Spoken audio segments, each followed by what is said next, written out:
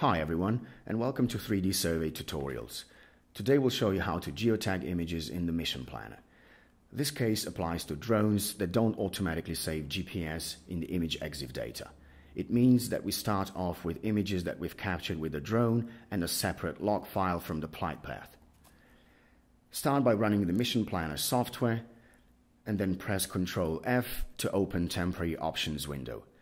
Click the first option called Georeference Images. Browse to your log file and select it. Do the same for pictures. If the pictures are in the same folder, the path is set automatically.